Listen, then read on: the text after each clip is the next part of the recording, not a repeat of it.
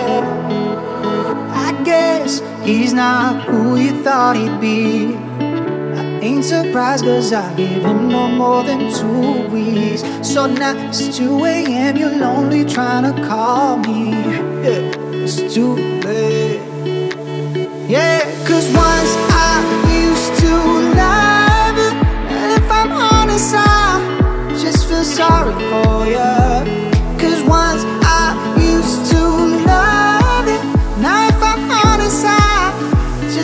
sorry for you.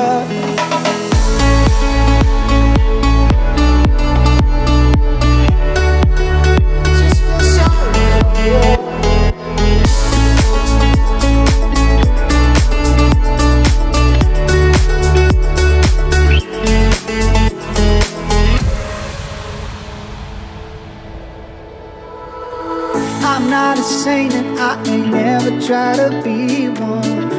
Please stop explaining, I don't need your reasons. I guess I'm glad